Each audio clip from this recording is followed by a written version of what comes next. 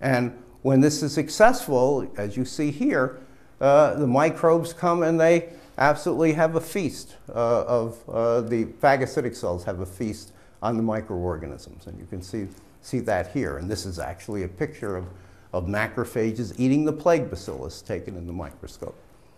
So when all things are right, this occurs. You have signaling, phagocytic cells come in and they kill the bacteria. The inflammatory response tends to inhibit things.